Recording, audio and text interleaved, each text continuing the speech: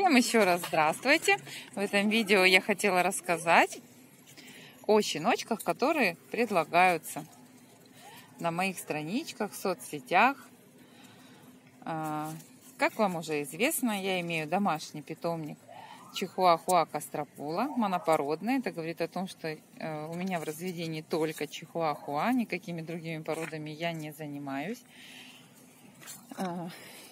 Все щенки, которых я предлагаю, это щенки категорически только от моих собак. Они могут быть детьми моих кобелей, которых у меня три, и они активно используются в, раз, в племенном разведении. Это рыжий Филипп красивый. Э, это длинношерстный белый шоколадным ухом мажорик.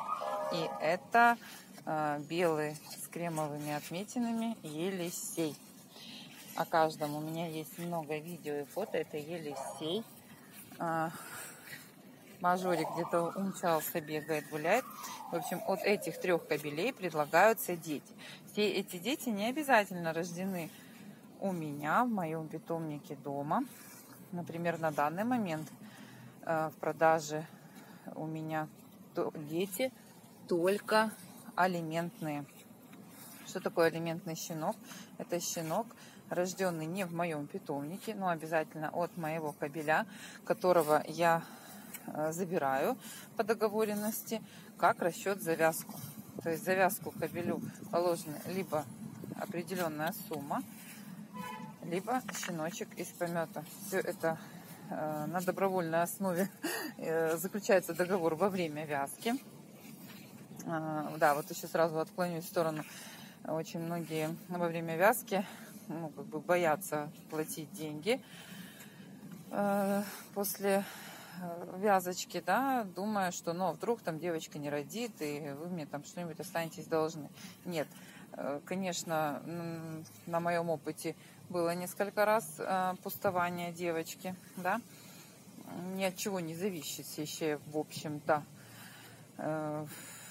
Но сейчас как бы опыт э, вязок собак у меня уже не маленький, поэтому таких, как, грубо говоря, пролетов у нас практически не бывает. И если они вдруг могут быть по неизвестной нам причине, Э, то никто никому ничего не должен. Естественно, если девочка осталась пустая, то если вы мне вдруг заплатили деньги, деньги э, по закону не возвращаются, но у вас остается бесплатная следующая вязка. Если мы с вами договорились на щеночка, то и ваша девочка вдруг не родила, то, ну, естественно, если она никого не родила, то вы мне ничего не должны. Ну, это все оговаривается индивидуально. Мы заключаем договор. Ну, конечно, самый лучший договор это договор мы заключаем, но самый лучший договор это честность э, хозяина и девочки, и мальчика. Я живу на этом. Вот, а теперь продолжим о щеночках, которых я предлагаю. Вот э, на сегодняшний день у меня свободны три щенка. Это вот этот белый Оскар, э, Адам. Вот Оскар и Адам, вот они двое. И девочка э, Леля.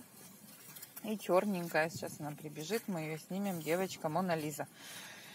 Все эти дети не родились у меня, эти дети алиментные. Вот, и, то есть они не родились от мамочек моего питомника. Да, они родились, допустим, Леля Э, вот эта девочка, вот она, хулиганушка, миниатюрная, она рождена в Алуште. Отец у нее наш мажорик. А мама дочка Филиппа, Криста. То есть мало того, что наша дочечка, она еще и наша внучечка. Оскар и Адам, эти два красавца, а, они дети нашего Елисея. Вот это Оскар. Это первые детки от нашего Елисея, очень красивые. Вот Адамчик. То есть, э, да, у нас там был инцидент, и эти детки выращены мною практически с трехдневного, с трехдневного возраста, только из-за того, что у меня были молочные мамы, и э, нужно было помочь родной мамочке. Поэтому они у меня очень давно, но эти дети не родились э, от моей, от моих девочек в нашем питомнике. Только папа Елисей их, поэтому это дети алиментные. Так, и где наша красотулька? Скорей, скорей! Мона Лиза. Мона Лиза, это девочка нашего мажорика, дочка. Мамочка ее Ляля, красотка Лилу, дочь нашего Филиппа. То есть она тоже и дочка мажора, и внучка Филиппа. Девочка тоже не родилась в нашем питомнике, но она дочь нашего мажора. Э, вот этих четыре щенка продаю лично я. При покупке щенка мы заключаем договор. Мы отправляем щенка в новый дом обязательно с недельным запасом еды. Это обязательно. И, естественно, консультации по выращиванию, кормлению, воспитанию на постоянной основе. То есть у нас нет задачи, э, грубо говоря, спихнуть щенка.